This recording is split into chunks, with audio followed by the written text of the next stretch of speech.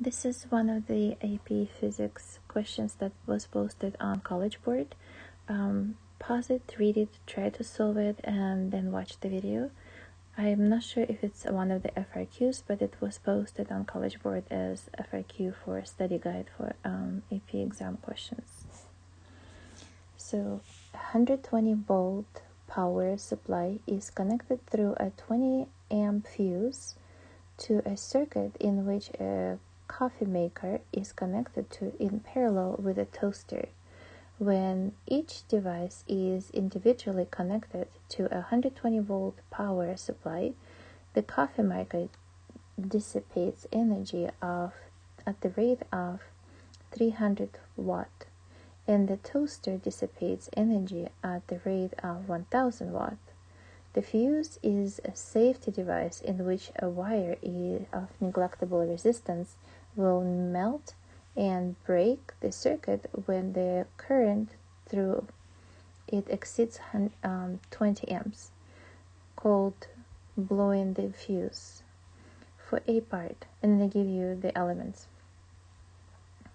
Um, for A part, using the symbols above, draw a circuit diagram below showing the power supply, the fuse, and the two appliances. So they say a power supply is connected through a 20 amp fuse. So you have the power supply.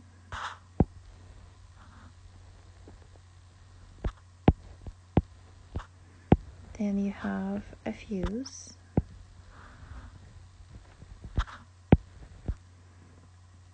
And then you have a coffee maker and the uh, toaster connected in parallel. So you have the coffee maker.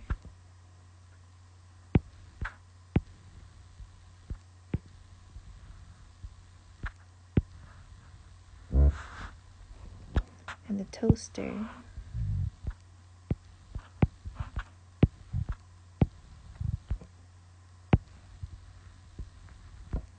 Connected in parallel. So coffee maker and the toaster.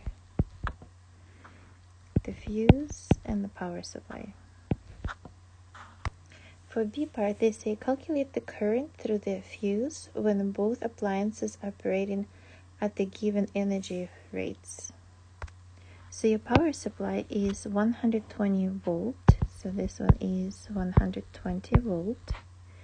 And the fuse is um, when the device is individually connected to the 120 volt, the power in the coffee maker dissipates energy of 300 watts. So coffee maker is 300 watts. And um, the toaster. So coffee maker 300 watts and the toaster is 1000 so the toaster is 1000 so if I want to calculate the current through the fuse I can use the power formula. So the power is equal to IV the voltage you have, the power you have, so you can find the current. The current is equal to, and we need the current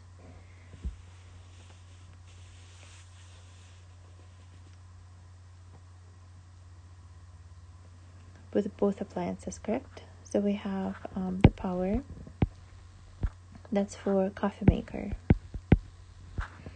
divided by the voltage and the voltage they're connected in parallel so they share the same 120 volts um, by the voltage and is equal to power is 300 voltage is 120 so it is 10 over 4 which is 2.5 amps and then the current through the toaster is also the power over the voltage. The power for the toaster is 1000 and the voltage is 120. I can cancel one one of the uh, one of the tens here and then it gives you 25 over 3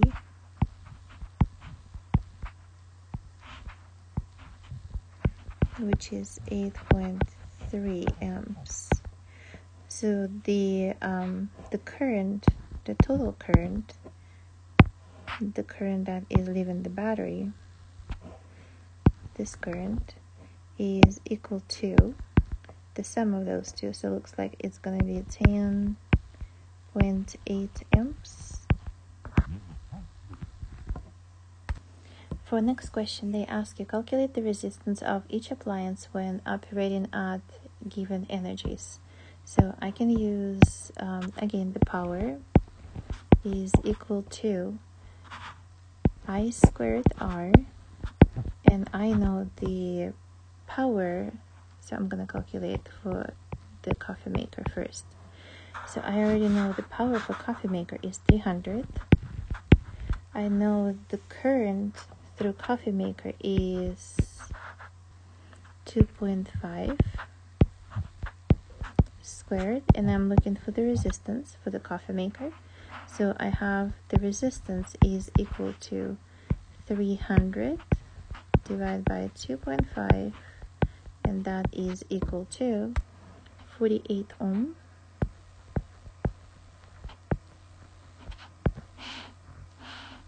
And the same we can do for the next one. The power for toaster is 1000 the current is 8.3 the one that we just calculated.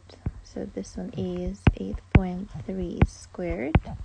And this was on the coffee maker resistance coffee maker resistance and this will be toaster. So the resistance of the toaster is equal to 14.5 ohm. For D, they say calculate the maximum power rating of a hair dryer that could be operating in a parallel with the other two appliances without blowing the fuse. So the maximum current that you can have through the fuse is 20 amps.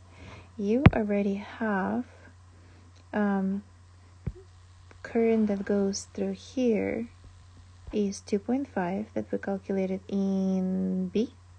And then current that goes over here is 8.3 that we calculated.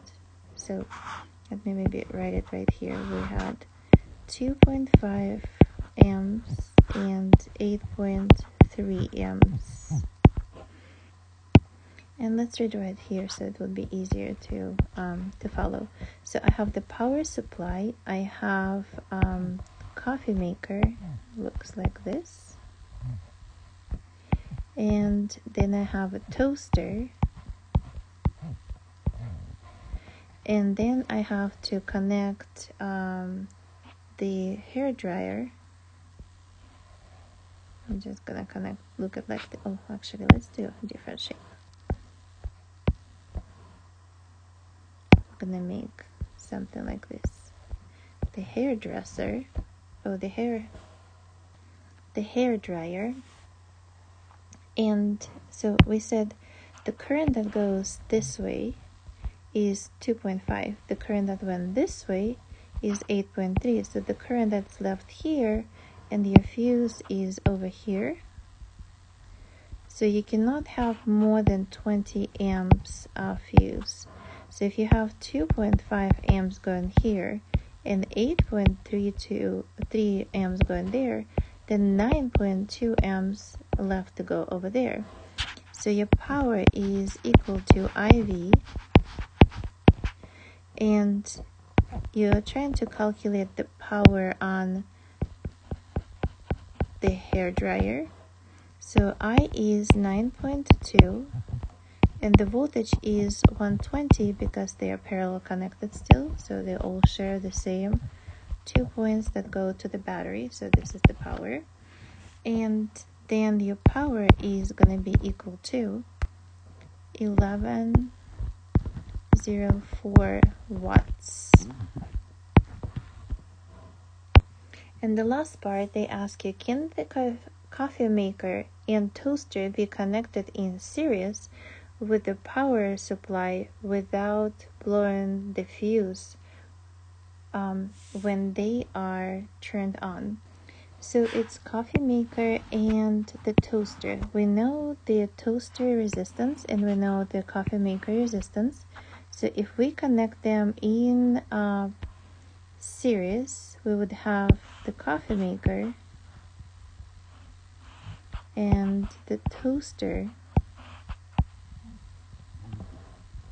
And then we would have the power supply and the fuse. So the coffee maker is 48 ohm. The power supply is 120 volt and the toaster is 14.5 ohm. Then the current through the circuit would be equal to 120 divided by 48 plus 14.5 and that is equal to 1.92 amps. Also, when you connect um, something in parallel, like in this case, when we have the coffee maker and we have, um, I'm drawing in the picture where the circuit is. So the coffee maker and the toaster the total resistance of the circuit is smaller than the smallest, and the smallest of two is 14.5. So the total resistance is less than 14.5, but the power supply is 120 volts. So what you are dividing is 120 volts by the number just slightly smaller than 14.5, and um, or smaller than 14.5. But here, when you connect um, them in series, you add them, and the total resistance is bigger than the largest one. So that means your resistance every time you connect things in series will always be larger, and therefore um, the current through the fuse would drop, and we see it from our calculations. So yes, you could connect um, your coffee maker and the toaster in series and not blow up the, the fuse.